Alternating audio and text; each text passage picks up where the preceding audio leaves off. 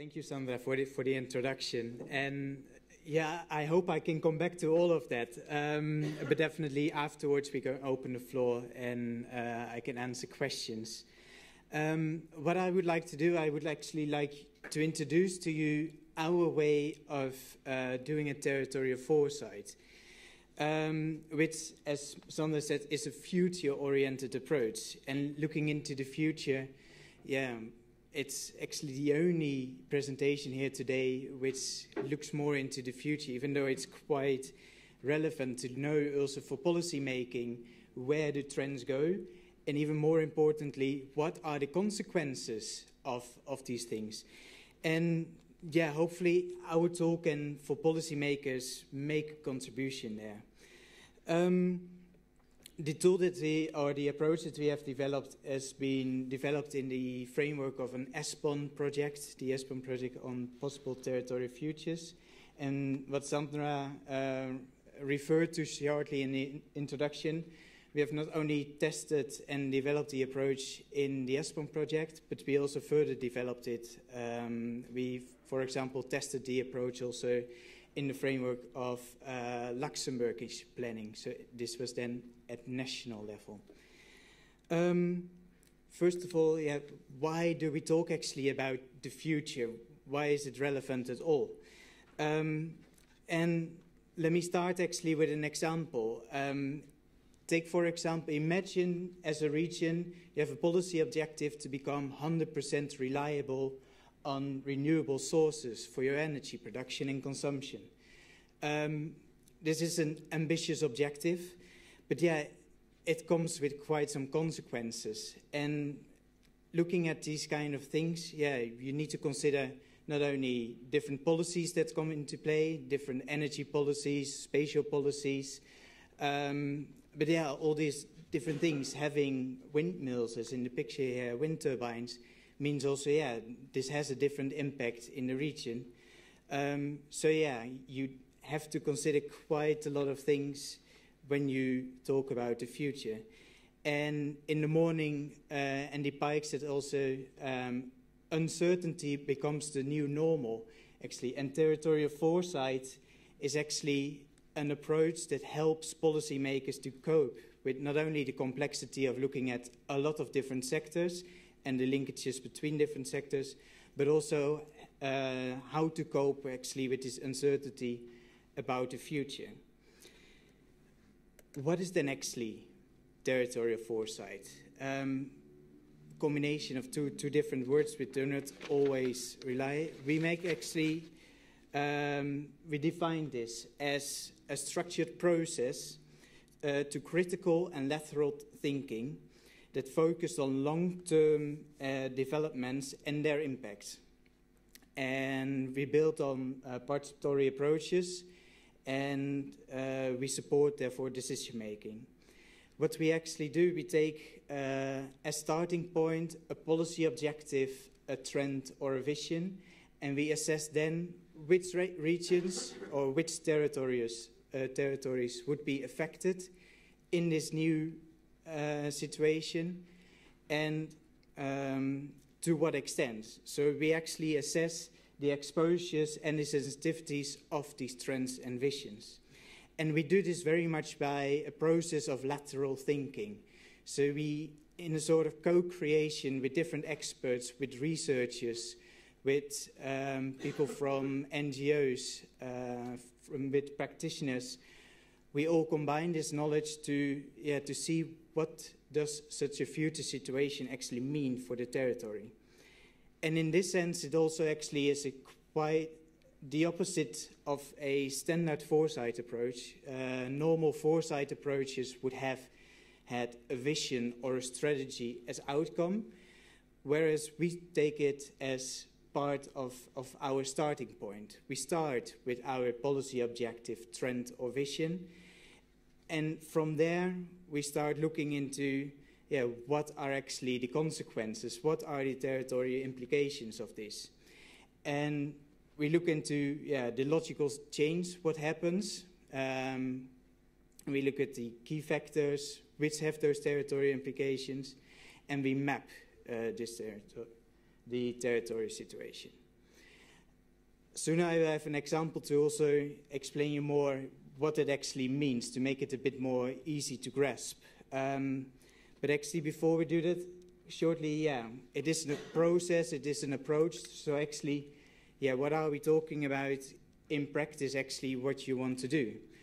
So we said we put this lateral thinking and participatory approaches actually in the center of our approach. Um, which means in the beginning quite some preparation. You need to have an understanding of what are you looking into. You need to have an understanding of, of your topic, of your policy objective. And you need to include a lot of relevant uh, participants. You need to have researchers from different backgrounds, uh, practitioners with different uh, backgrounds from different territories, uh, etc. Then the centerpiece of the approach is an interactive participatory approach. Um, during the ESPON project, we run different workshops where we actually start with framing uh, the topic. Together with the, with the experts, we actually define what does it look like? What, will, what would the future look like? And from there, we start identifying factors that are relevant in that case, and then relations between those factors. And only as last part, then we look into the territorial impact of those things. After the workshop, we have then had quite a lot of new information. So new information needs, in this case, also for us, yeah, we needed to do additional uh, research. Uh, we have identified new factors which would have been relevant, so we included that. And as last, we did a mapping of the result. And for us, uh, we make there a clear distinction between mapping in the sense of making a map of Europe, but also very much uh, mapping of um, yeah, all the causal effect relations, the story around. Uh, next to maps, what we, we produced, we focus very much on the narrative. So that about when you talk about the new future, you always have the narrative to support uh, your story. Um, looking then into the example, if we go back to, to my example of the beginning, if we have a region which has the, the ambition, a policy objective to become 100% reliable on renewable energy sources. If we take this example and we would uh, conduct a territorial foresight, we would start looking actually at yeah, what data is there around, what would help us, what is actually the forecast um, of the territorial situation. So in this case, yeah, we look into indicators just to give us a rough idea of what we actually look into. Um, so this is still the preparatory uh, phase. Then we start actually, after we have a better understanding of what we look into in our foresight topic, we bring it under discussion with the experts. And with the experts, we ask them, okay, we would have imagined you would wake up in the next morning in your region has 100% uh, renewable energy. What well, does that mean? Which sectors are, are there? What are the determinant factors that come in play? What are the indicators that are relevant? Um, and what are the relations with those two? And we did a mapping, which is very similar to, to the mapping of uh, the territory impact and the territory impact tool as what ESPON already does. We, we use a lot of the elements of territory impact assessments as it was um, developed on the, on the ESPON as well. So we have yeah, a lot of information about the different factors and the relations that come in play. Um, and we also ask the experts, okay, what if you now pick from this huge schematic uh, drawing, what are the key factors that have a territorial impact, and maybe can you sketch that? And we had actually in our workshop people without a territorial background, and we managed to, to make them funny drawings. Then we helped them with a lot of maps, additional maps about specific uh, territories, about the GDP, and standard ESPON maps, just to give them a framework of where things are in Europe. But they know relations and things that have an effect, but not always the territorial location of that. So we managed to get at the end of our workshops these sketches. And then in the finalization, in the post uh, processing phase, we made these kind of sketchy maps out of it, which are also yeah, behind the coffee corner, the posters, they are there, which are more sketchy maps, we call them fuzzy maps. They actually su support the story, support the narrative which we drafted in addition. And as you can see, they are not a standard map with NUTS regions, with different classifications. But we try actually to get it out. The future is uncertain. We don't know exactly what the future is. So we try to depict rather the story in our mapping, in our fuzzy mapping. What are the key impacts? What are the consequences of this territorial future? And try to, to put that in a map. So having seen, yeah, what our territorial foresight actually is, how we conduct it, why should policymakers actually do it? Then, uh, first of all, um, looking at the content. Territorial foresight helps to develop very integrated uh, policies. Uh, they combine the different sectors, you can combine different, different levels, um, but also very much they are an eye-opener for policymakers to think territorial, to think about these relations, to think, think about wider impact. And the second part is that they help to anticipate on the future events. Because um, we look at the, um, the causal links, the, the relations between those two, making use of the elements of the territorial impact assessment, uh, those elements may help policymakers to anticipate. The second part, which makes it more um, territorial foresight, a relevant approach for policymakers, is more on the process side. Um, it helps really, yeah, this lateral thinking might help policymakers to, to gain capacity. It is um, the workshops as we organize them serve as a platform for learning to broaden your scope. And also doing such a thing together with practitioners, with people from the region, uh, creates also ownership of, yeah, I have a policy objective, I might have a strategy, I have a vision, but what does it mean for my region? And doing that together, yeah, creates then the sense of belonging and the ownership of the, of the stakeholders. Um, there with my very short introduction to, to territorial foresight and the approaches how we developed it in, in the ESPON project. Thank you.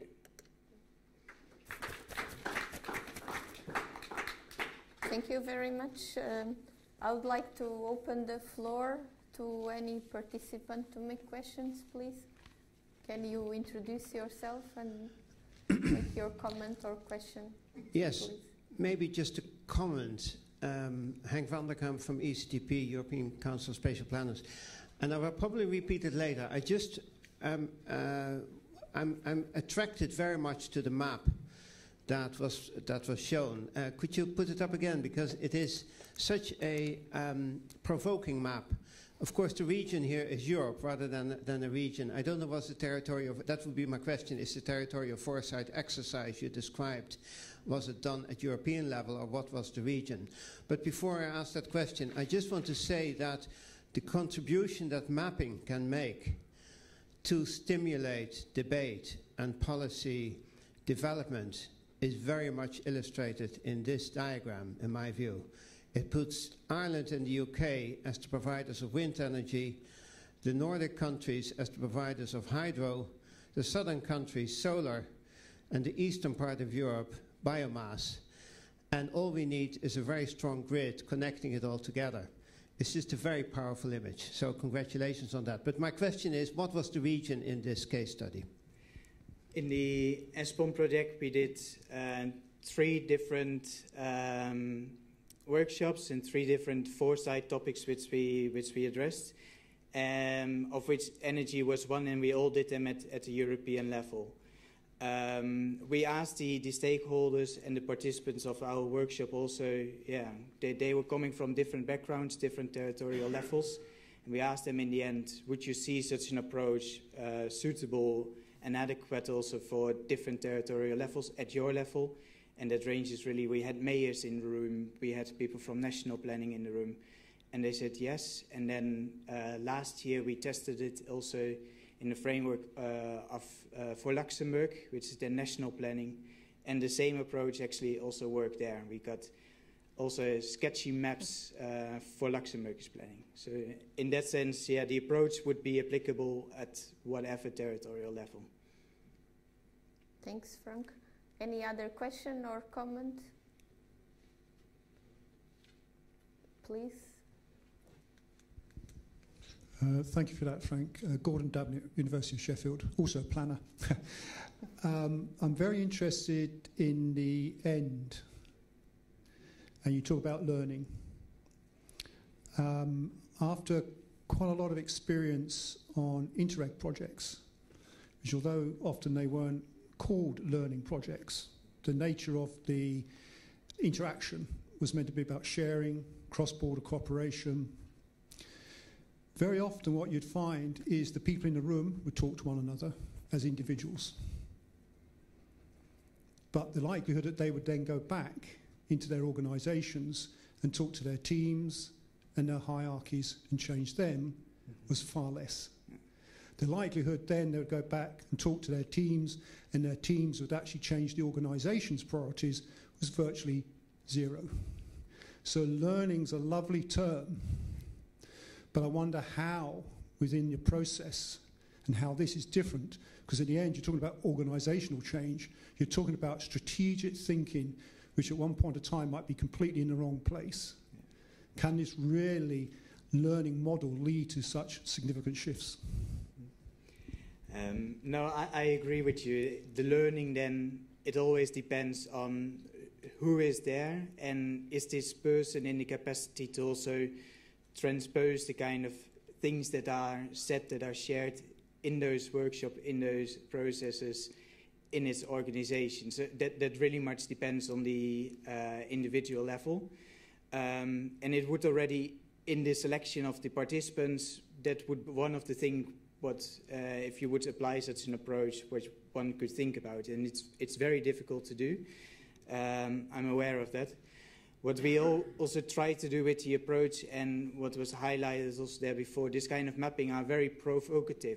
So hopefully it serves also as a tool that people who were there in the room, who uh, use the ideas that are shared there, that function as an eye-opener. Oh yeah, I've, I've been always doing very strict uh, energy planning and yeah, I, I simply don't think too much about other sectors being affected.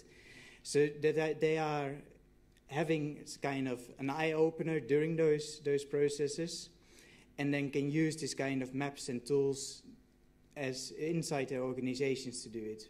Whether that works or not in the end, that is that is very difficult. And yeah, we did not measure, we did not ask, but yeah, we hope that it works. Thank you, Frank. Any other comments or questions?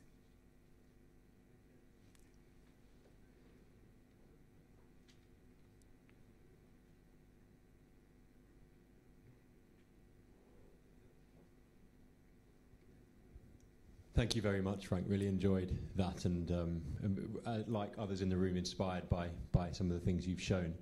Um, I guess two things. One is um, just the question of how, whether, how, and in what ways you use data, you crunch data and, and kind of project data forward in order to support these and reinforce these uh, visions. And then, secondly, something about how do you anticipate disruptors when they you got two different or multiple different types of disruptor that might be underway, some economic, some environmental, some social, some political. How do you, you mentioned lateral thinking, but uh, do you use a process and how do you think about the ways those things sometimes accelerate or retard the disruptive impact of each other? Um, first, on the part of, of the data, um, especially in, in the first part of the analysis, we, we looked in, in quite a lot of data just to, to get, as researchers, our own idea about what does the topic uh, mean. Um, we're not, uh, in my case, I'm not an energy expert, so yet to get there an idea and there also use, uh, make use of, of etc. Um, then during the, the participatory approaches, it's very much um, depending to collect more data, and then afterwards it's to match it again. So it's it's um, not a data-driven process in that, that, sense. We don't do a hardcore forecast because we say, yeah, the future you don't know. We rather would like to use on the knowledge, the expertise of the people. Uh, rather than, than the data, but it, it comes in definitely and, and forecast as well. Uh, the map that was here behind um, was uh, wind energy and energy sources 2000 2012. Uh, in the framework of the ESPON project, we also did a few forecasts uh, of, on different topics, which we used. And we used also as input to the discussion. Um, but yeah, mostly expertise knowledge.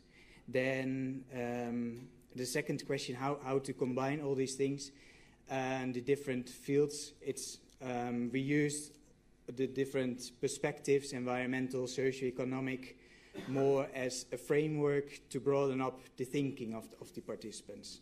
So to uh, and the territorial impact assessment also uses the same kind of approach, really to, to think, oh yeah, I might be stuck in, in one sectoral policy or in one, one field, just to consider that there is more. So there we really rely also on the experts from the from the territorial impact assessment.